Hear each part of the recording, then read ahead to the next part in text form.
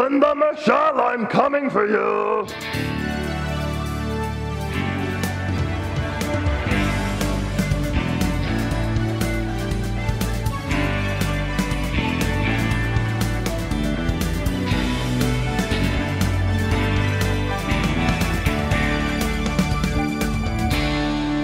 Well, a very good evening to each and every one of you, and welcome to this week's episode of Your Manchester. Hello, Show. Hello then, I thought uh, you'd been replaced by Trekkie Monster then. I look exactly the same, don't I? You do the hairstyle and everything. Thank you. Trekkie Monster, of course, a character from a fabulous musical called Avenue Q. He was here before, you know. Ah, I always miss the good ones. He was here, he was having fun with us. Do you want to see what you have to say? Yeah, that'd be good. Trekkie Monster. We have got a special guest right here now for you. It's all the way from the musical of Avenue Q, and this is probably the most freakiest interview I've done in a very long time. We're not just speaking to a human, although we've got one with us, we've also got a monster here as well. It is Trekkie Monster, and of course, Ellis Dockham, everybody. How are you both? Well, I'm very well, thank you. Yes. And Trekkie, how are you? Yes, very good, thank you, and good pronunciation of his name. It's very difficult to get sometimes. Thank you. Where does your name come from, Trekkie? Ah, well, if I told you, I'd have to kill you. That sounds like good fun. Now, you live on a very special street, don't you, Trekkie? It's a street called... Avenue Q. Yes, it's an avenue, isn't it? It is. And what goes on there? Anything or nothing? Oh, well, I tend to spend most of my time in my room. I don't really like to get out much. Um, What is it you do in your room then? well, I, um, I like the internet. Oh yeah, anything particular about the internet? Google something, anything? Yeah, yeah, I use Google a lot. Um, mainly for, um, porn! I love porn so much! Oh my god! Yes. Mm, And you spend a lot of time in there watching that, do you? all day long. Yeah. Do you, And all night. and, and all night. Mm-hmm. I never sleep. That's probably why your right hand's so flexible today, isn't it? Mm hmm. yeah, but And, uh, today. and your hair's of very that. nice, I have to say. Oh, thank you. Thank you very much. It- Yeah, what's your favorite color? Uh, hot pink. Oh, we're gonna get on just fine. We can watch porn together. Oh, please. Yeah, come over whenever you like. Uh, uh, literally. So, um, Ellis, you've, you've been doing this this lovely musical. This is really freaking my eyeliner. Ellis, you've been doing this musical, and you are part of the. Um, well, you play everybody within the Yes. show, don't you? Yeah, I'm part of the ensemble, and there's four of us. Yeah. Um, and between the four of us, we uh, cover all of the roles in the show. Uh, we uh, also operate puppets backstage. We sing backstage. Everything you hear on uh, Avenue Q, the UK tour, is live. Nothing is pre-recorded. Um, and it is our job to make sure that the show runs smoothly, no matter what happens. How do you go about learning so many roles? uh, uh, a lot of coffee. Because it's Yeah. not just the roles you're learning, it's not just the songs you're learning. Obviously, Yeah. you've got a slight extension to one of your hands. Yes. And I guess Yeah, they all come in different positions and different ways of operating them as well. They do indeed. So it's not only learning the voices, the different voices. I have to do three if I'm on for this track. Um, yeah, Nicky kind of speaks a bit like this. The bad idea bears really high. They're up here. Uh, and then obviously you've already heard this one. I'll give him a rest. Um, uh, yeah. So not only the voices, but the puppeteering. There's there's a lot of technicalities that come into um, doing the different puppets. Every puppet has a different sort of niche way of like making it become alive and look real. And you've got to kind of try and perfect those while sticking to character and the voices. And, and had you worked with, with puppets before? No, no, I had not. Um, neither of us, no, none of us had actually, apart from Tom. Um, and uh, they they prefer that um, Right. because then they kind of teach you their way of, of operating them. You know, there's no bad habits, that kind of thing. You know. Uh, For people watching this and, and seeing uh, our Trekkie here, uh, they've already kind of guessed that he's high. Are you still all right over there? Oh, yes, yeah, yeah. I'll no, get back to you in a minute. Oh, okay, okay. Uh, they've probably guessed already that this is not for the faint-hearted, is it? no, it's not. There is a there's an age restriction on the uh, on the on the uh, posters, 14 plus. It's, it's a suggestion, really. Uh-huh. Yeah, it's not not you know. Um, and yeah, it's. Do you know what? It, it comes across like it's going to be too naughty or too um, kind of uh, outrageous, but it, it, it's, it's full of heart. Um, it's a real good feel feel good factor about the show. That's what I was Uh, going to say. yes, yeah, Because yeah. a lot of the songs are, they come across as perhaps within their outset message as being quite crude or Yes. Mm. quite vulgar. But actually, um, due to the story and the characterization of a lot of the, the characters the puppets and Yes. of course the people Yeah, yeah, as yeah. well. It's actually got a lot of heart. Hasn't It's it? lovely, and, and that's where they really capture that Sesame Street vibe, um, where you know ch- children are, are, are kind of taught on Sesame Street, where uh, to, you know if you, you grow up and do anything, if you dream hard, like dream big, you know, work hard, whatever. Um, and on Avenue Q, it, you know, life's not like that. You know, life's not as idealistic as that, um, and it's quite tough. But what's nice about it is that it's kind of you know the the message is that that's only for now, for want of a better phrase, um, because you know things will be all right, and that's what's nice about the show is that you kind of leave thinking, oh, do you know what? I laughed, I had a good time, but I kind of feel a little bit uplifted. So it's This show is with us and for the rest of this week, isn't it? it is yeah. We're here until Saturday. And yeah. it, it, it's probably already sold out or is near enough to selling out. It's getting there, yeah. but if people want tickets, left. they should get onto the Palace Opera House website, Yes. Ticketmaster, yeah, yeah, and mhm. all that. Yeah, yeah. Or call up the box office, whatever it may be. Yeah, because yeah. it's mhm. definitely one that you definitely, definitely should see. Not for the faint-hearted, but thank you very much, Ellis, Not and thank you very much to uh, our lovely Trekkie. No, thank you. It was a pleasure. I'll see you later tonight, yes? I'll let you get back to your porn. Oh, yeah! Thank you. We've got somebody back now. I'll give you a clue. Give you a clue. Oh. Beanbag. Is it our pet dog? Yes, actually, you're really not far off at all with that, are you? She is back. It is I'm our sorry, gorgeous Hayley. Hello. Do you know, you two get away with far too much. Where have you been? I've been all over the place. I've been to Jersey. Yeah. And I've been filming on Cold Feet as Oh, well. yeah. What are you Yeah. doing in Cold Feet? Can't tell you the role at the moment because it gives away too much of the storyline. Oh, right. But- is it dramatic or is it funny? Bit of both. Okay. I love coffee. Very, very iconic. Just like you, my dear. so, well. have you missed us? We missed you. I've missed you and I've been giddy, haven't I, since I got in the You studio? have been giddy. You have been very, very. It's uh, it's a strange time though. Speaking about actresses, isn't it? Yeah. Because we've got to that point. Did you see the story in the papers the other day? I did, you know, because I'm not a big EastEnders fan, No. but this Yeah. caught my eye. Tell me a little bit more about it. This is Katie Jarvis. Yeah, she played Hayley in EastEnders, Right. Um, and I think she left. I think it was February, Mm -hmm. and Of she, her own accord, or because they just got rid? I think it was just end of storyline. I think it was just the end of a contract, just Yeah. like she was in for six months or a year or something, and that was it for now. You Yeah. know, so she did what all actors, in my opinion, do, and she got a job. Yeah. Yeah. And she got a job like everyone in our industry more or less does on the side to support her profession. And she has two children, and she's working in B&M's as a security guard. And they've made a big deal about this, haven't they? They've really gone for her. certain newspapers, which I don't like to mention the name of because I, I don't want to give them any sort of credit, really, um, have really gone to town on her, and I felt really sorry for her. And my first thought, and I think I tweeted this as well, was, "Woman gets job." I mean, there must be no news that day. Do you know what I mean? I mean, how dare they I do that? because a lot of people forget that acting's actually a job. Yeah, and I think also I blame the media for this as well, and to a certain extent, the mainstream media is that they make it out that it's such a glamorous world, and occasionally it is, but most of the time, as we all know, it's not. It's really, really hard, you know. And most actors and most creatives that I know, the, they might have a job, um, a non-industry job, as I'd say, all the time or some of the time. Do you know, it takes me back to, gosh, many years ago, there used to be this programme called Rainbow. I don't know if you Oh. God, And Rainbow! remember Geoffrey Yeah, in Rainbow, yeah. the, the man, not the puppets and everything? I could do some innuendos was- on that. there was a newspaper that went to town on him because Yeah. they found him stacking shelves Yeah. in a supermarket Yeah. years later. Yeah. But again, the guy has got to have a career I think past he's a taxi driver as well. Yeah, I know, but I mean, what they're supposed to do, never ever work again or Exactly. support themselves. So I mean, what mean- we should hard. do is the when the journalist eventually comes out of work, we should shame him for his next job.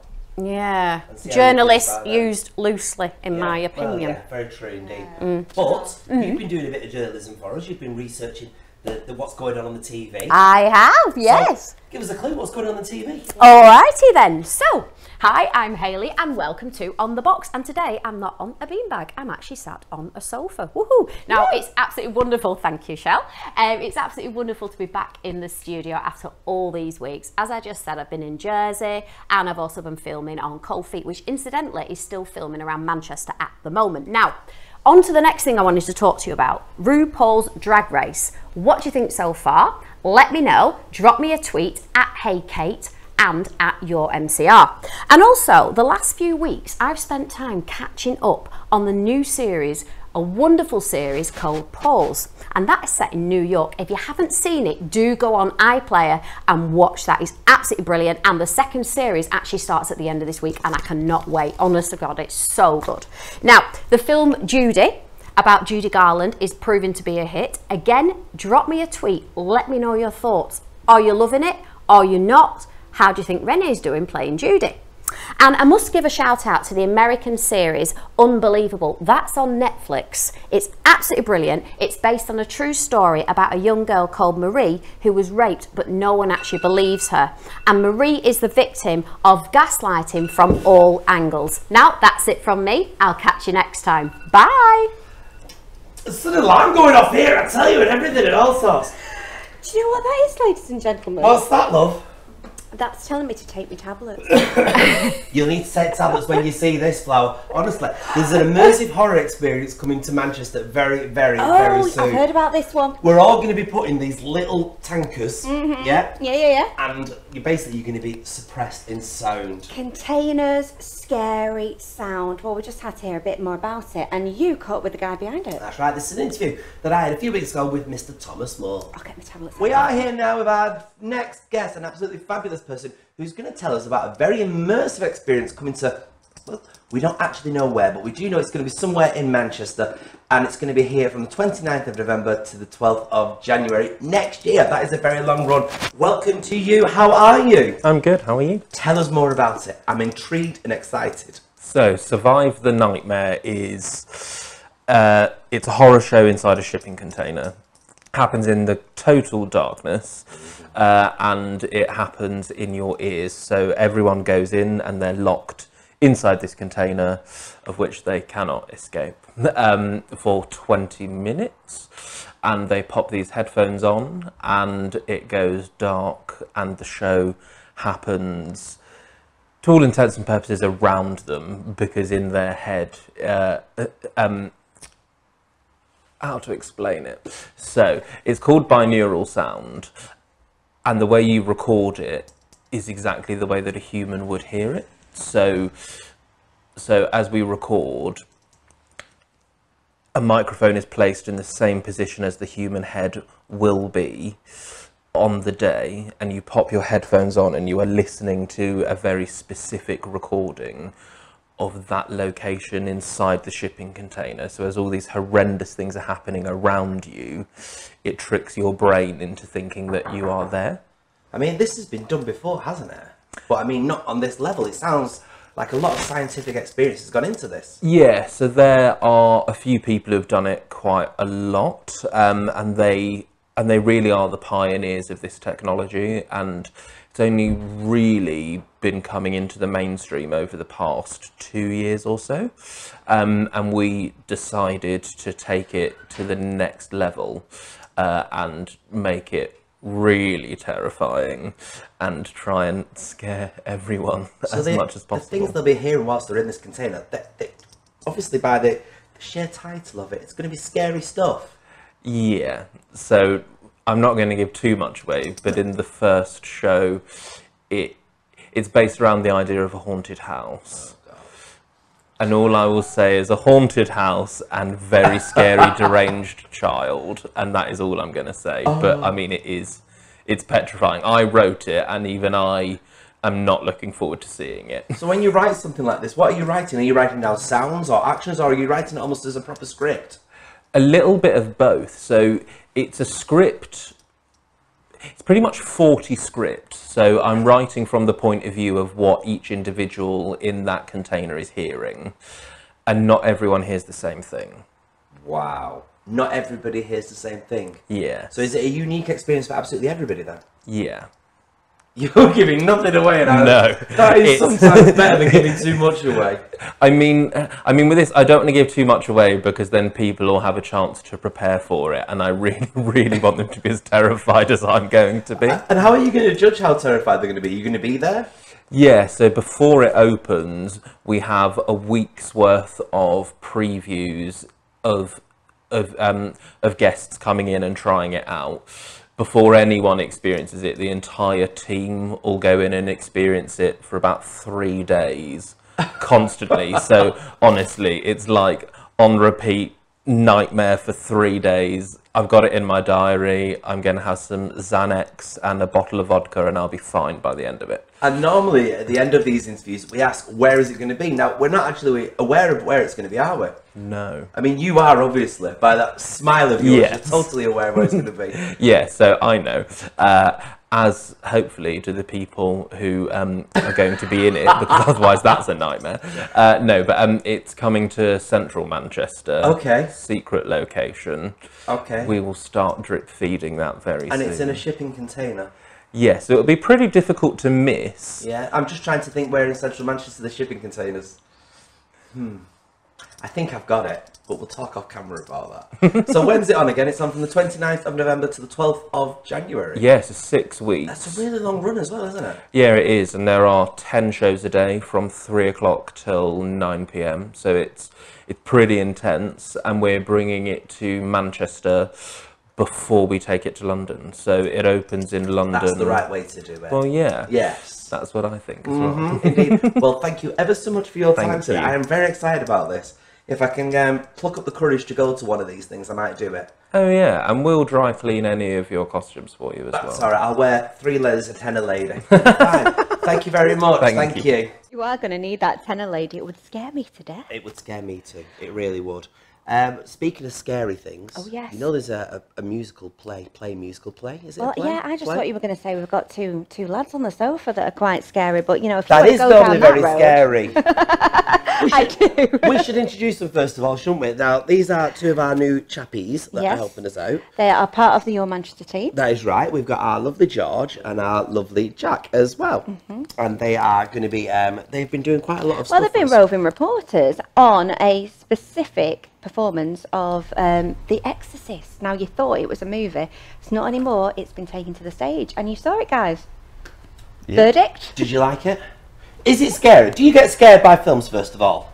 We watched The Exorcist on Sunday. Sunday night, yeah. Um, and it's sort of outdated now. So I think at the time, obviously. It's outdated. In what way? I remember when it came out. Oh, what do you God, mean it's yeah. outdated? So what was it? Sixty? No, it was 70 not. 73. Sorry, 73. seventy-three. A long time ago. Let's just say a long time ago. the like the effects are very much outdated now compared to what you'd get on TV. well, that's because most of the effects done in the movie were actually really done in the movie rather than in Yeah, and post production. if you look at the film and then you go watch the theatrical Yeah. performance, they've implemented the same um, makeup and stuff. Have they too. famous head yeah, sculpt? because Linda Oh. Blair was really famous as the woman that was possessed, wasn't she? She, she had all scratch marks on her face and did the whole head spinning.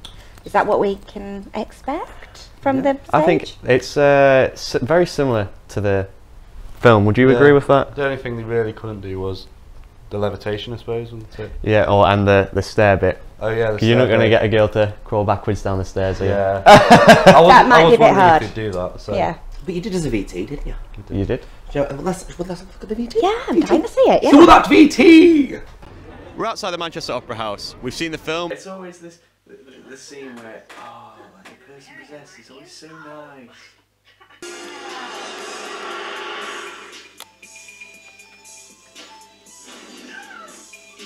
Oh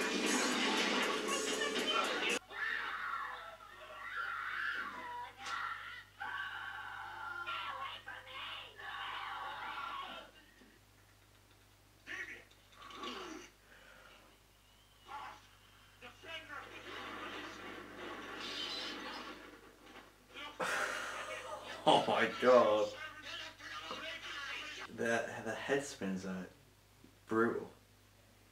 someone inside you. Sometimes.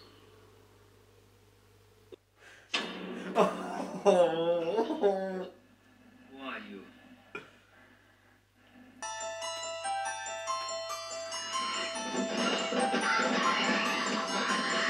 And now it's time to see the theatrical performance.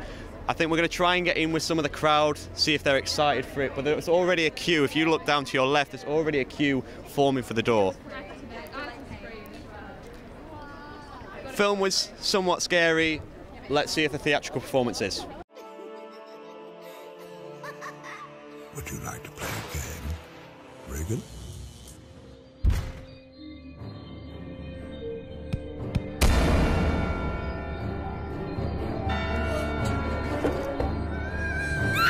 Robert Washington. Salud, grande.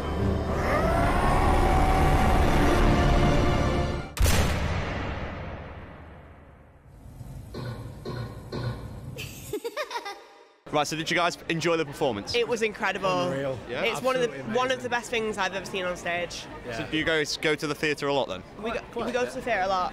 Um, we both work in horror, Oh, okay. and this is one of the best things that we've ever seen. So it's been branded as the scariest thing on theatre. Would you agree with that?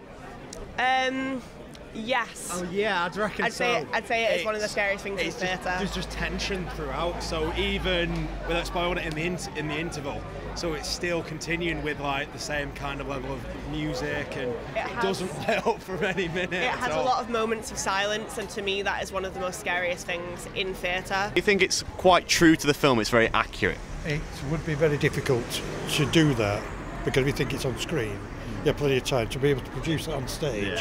You would have to be a genius. But what they did was they had all the special effects that were in the film were actually on stage, which was tremendous and it was good to see because there are certain moments everybody remembers.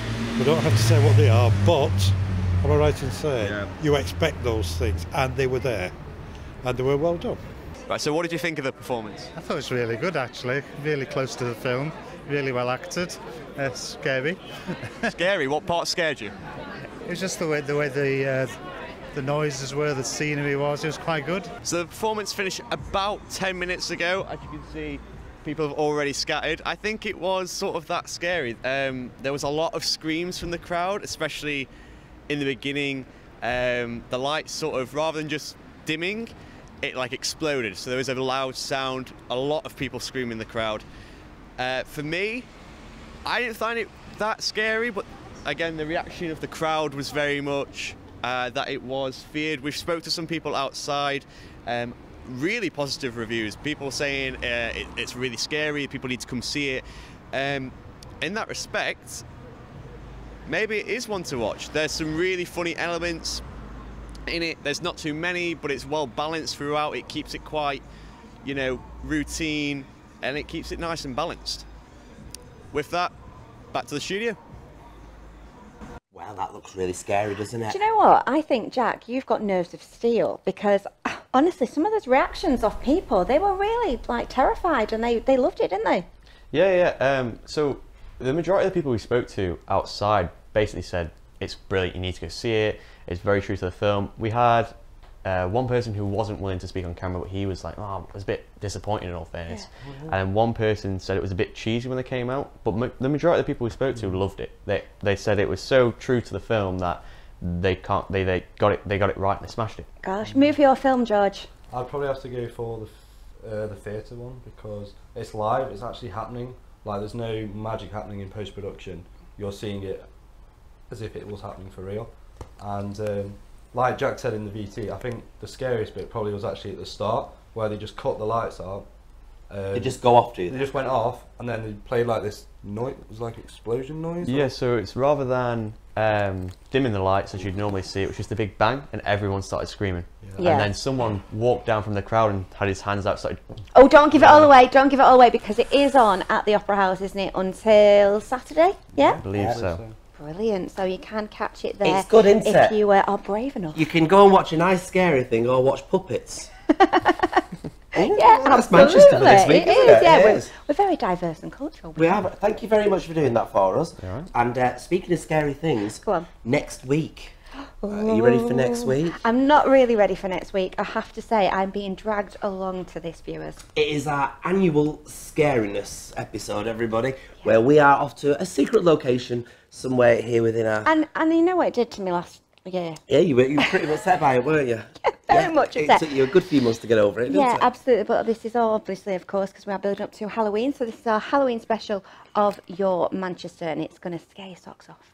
It- well, hopefully. We don't know. Oh, Let's get my tights off, yeah. Scare you, you 20 dennies. Yes, it is going to be spooky, but make sure in the meantime you subscribe and like and tell everybody to tune in to our lovely episodes here only On on, Your Manchester. Manchester.